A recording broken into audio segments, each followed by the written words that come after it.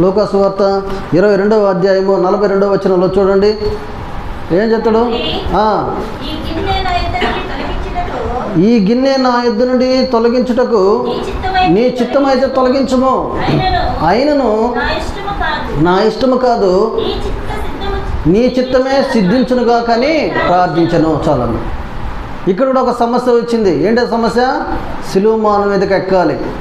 మానవుల పాపములన్నిటినీ ఆయన మీద వేసుకోవాలి. మానవుల కొరకు మానవుల యొక్క పాపముల కొరకు ఆయన కొరడా దెబ్బలు తినాలి.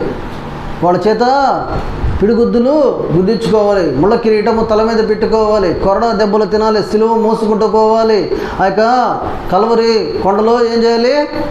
సిలువ శ్రమ పొందాలి. ఇవన్నీ కూడా అంత ఆషామాషి పనులండి. మనమైతే చేసుకోగలమా? కనీసం ఒక్క కొరడ దెబ్బ తినకే మనకు దిమ్మ తిరిగిపోద్ది కదా? అటువంటిది ఇది ఆ యొక్క దేవాతి దేవుడు మనందరి పాపం నిమిత్తము మరి ఎంతో శ్రమ అనుభవించడానికి సిద్ధపడుతూ ఉన్నాడు. అది చాలా ప్రమాదకరమైనటువంటి సమస్య ఆ యొక్క సిలువ శ్రమ. అటువంటి శ్రమను ఎదుర్కోవడానికి ఆయన ఎవరి సహాయం తీసుకున్నాడు? తండ్రి సహాయం తీసుకున్నాడు. మన పరమ తండ్రి సహాయము తీసుకున్నాడు. తండ్రి నీ చిత్తమైతే ఈ గిరిని నా ఎదురు నుండి తొలగించు. అయినను నా ఇష్టము కాదు నీ చిత్తమే సిద్ధించును కాక అని ప్రార్థించడం మనం చూస్తున్నాం ప్రేమైన వాళ్ళ కాబట్టి అనగా మన ముందు ఉన్నటువంటి సమస్య ఎలాంటిదైనా సరే ఎంత పెద్దదైనా సరే ఎంత ప్రమాదకరమైనా సరే మరణకరమైనదా సరే మనం ప్రార్థనా పూర్వకంగా దానిని మనము ఎదుర్కొన్నప్పుడు అది మనల్ని ఏమీ చేయలేదు. ఇక సిలువ మరణం సామాన్యమైనదండి. భయంకరమైనది. ఎంతో ఘోర నేరాలు చేసినటువంటి వ్యక్తులకి వేసేటువంటి శిక్ష అది. ఏ నేరమో చేయనటువంటి నీతిమంతుడైనటువంటి యొక్క దేవత దేవునికి ఆ శిక్ష వేశారు. అట్ట మరణకరమైనటువంటి యొక్క ప్రమాదకరమైనటువంటి భయంకరమైన సిలువ శిక్షను ఆయన అనుభవించడం నీ కొరకు నా కొరకు. మన జీవితాలు కూడా కొన్ని కొన్ని సందర్భాల్లో మనం చేయని నేరానికి నిందలు అవమానాలు శిక్షను అనుభవించాలన్న పరిస్థితులు మనకు ఎదురవుతాయి. ఎవడో చేసిన తప్పుకి శిక్షణ మనం అనుభవించాలి. ఎవడో చేసిన నేరానికి శిక్షణ మనం అనుభవించాల్సి వస్తుంది. ఎవడో చేసినటువంటి ఆ యొక్క అన్న మాటలకి బాధ మనం అనుభవించాల్సిన పరిస్థితి మనకు ఏర్పడుతుంది. అటువంటి పరిస్థితుల్లో నువ్వు మోకరించి కన్నీటి ప్రార్థన దేవుని సన్నదిలో నువ్వు మరి చేసినప్పుడు దాన్ని ఎదుర్కొని ఆ యొక్క శ్రమ గుండా నువ్వు ముందుకు కొనసాగే శక్తిని దేవుడు నీకు ఇస్తాడు. ఇక్కడ ప్రభువు కూడా శక్తి ఇచ్చాడు ఆయన. పరలోకం తన దూతను పంపించి ఏం ఆయన్ని బలపరిచాడు. అందుకని అంతటి సిలువ శిక్షని అంత శ్రమను కూడా ఆయన ఎంతో సహనముతోటి ఓర్చుకున్నాడు. కదా? వాళ్ళని దెబ్బలు కొడుతున్నా సరే వారిని ఏమీ అనలేదు. తను తను ఏం చేస్తాడు? అర్పించుకున్నాడు అక్కడ. మనమైతే అంటామా ఒక దెబ్బ తగలనే వాళ్ళు తిడతాం. ఊరే నాయన నువ్వు ఎందుకు నన్ను కొడతావురా? కొట్టగాకరా నాయన? అని చెప్పేసి ఏడ్చి గగ్గోళ్ళు పెడతాం. కానీ ప్రభు అంత శ్రమను కూడా ఓర్చుకున్నాడు. తిరిగి వారిని ఏ మాట కూడా అనలేదు. చూడండి. కాబట్టి మన జీవితంలో ఎదురయ్యే ప్రతి శ్రమను ప్రతి యొక్క శిక్షను లేదా ప్రతి యొక్క ప్రమాదకరమైన పరిస్థితులు ఆ యొక్క కష్టాలని మనము సహనముతో ఓర్చుకుని ముందుకు పోవాలంటే ఆ శక్తి మనకు ఎవరిస్తారు? పరమ తండ్రి రెడ్డి దేవాతి దేవుడు మాత్రమే మనకి ఇవ్వగలడు. కాబట్టి అటువంటి సందర్భాలు మనం ఏం చేయాలి? దేవుని దగ్గరకు వచ్చి మొరపెట్టేటువంటి లక్షణం మనము కలిగి ఉండాలి. ఇది ప్రభు మనకు మాదిరికరంగా చూపినటువంటి ప్రార్థనలు. ఇంకా మనం చూసినట్లయితే చూడండి యహాన్ సువార్త యోహాన్ సువార్త పదిహేడవ అధ్యాయంలో మనం చూసినట్లయితే అక్కడ మరికొన్ని మాటలు మనం గమనిస్తాం. ఆయన సిలువ మాన మీద మరణించడం అనేది ఒక ప్రమాదకరమైనటువంటి సమస్య అయితే ఈ లోకంలో దుష్టుడైన సాతాను చేతిలో పడకుండా మనల్ని కాపాడమని తండ్రికి మొరపెట్టే మొర ఇక్కడ మనం చూస్తాం. ఇది ఒక సాహసోపేతమైనటువంటి మరొక సమస్య. అందుకని ఇక్కడ ఆయన ఎంతో చక్కగా ప్రార్థన చేస్తున్నాడు.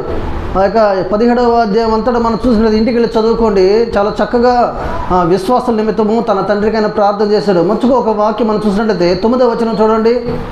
నేను వారి కొరకు ప్రార్థన చేస్తున్నాను నేను వారి కొరకు ప్రార్థన చేయుచున్నాను. లోకము కొరకు ప్రార్థన చేయడం లేదు నీవు నాకు అనుగ్రహించి ఉన్నవారు నీవు వారైనందున నీ వారైందున వారి కొరకే ప్రార్థన చేయుచున్నాను. ఇంకా ఏం చెప్తున్నా పదిహేను వచనంలో చూడండి.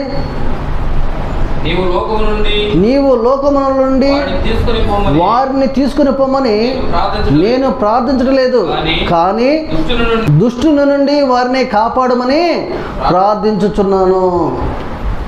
చూడండి. ఆయన ఈ లోకాన్ని విడిచిపెట్టిపోతున్నాడు. ఆయన వెంబడించిన వారు ఆయన నమ్ముకున్న వారు ఎంతోమంది ఈ లోకంలో ఉన్నారు ఆనాటికే.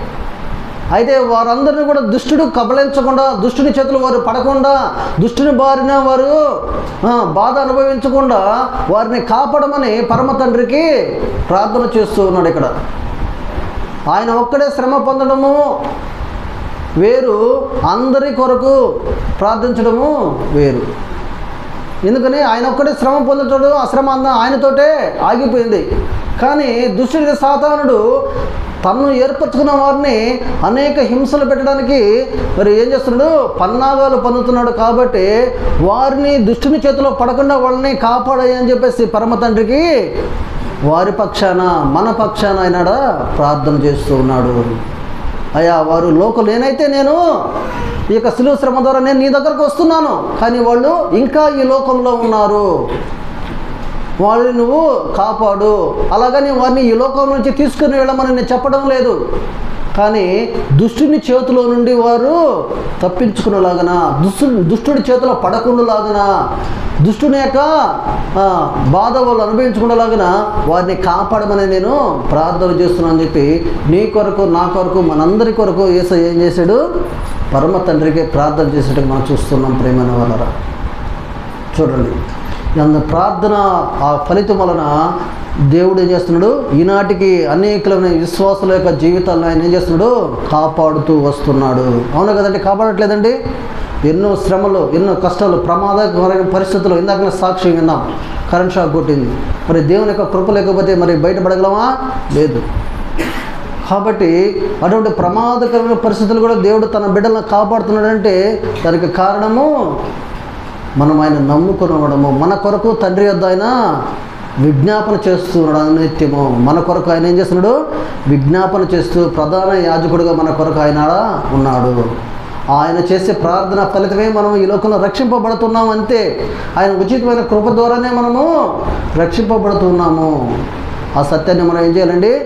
గ్రహించాలి ప్రేమైన దేవుని బిడ్డారా కాబట్టి మరి మన జీవితంలో కూడా మనకు ఎదురయ్యే ప్రతి సమస్యలో ప్రభు మనకు చూపిన మాదిరికరమైనటువంటి యొక్క ప్రార్థన జీవితాన్ని మనము కూడా ఏం చేయాలి? అలవర్చుకోవాలి.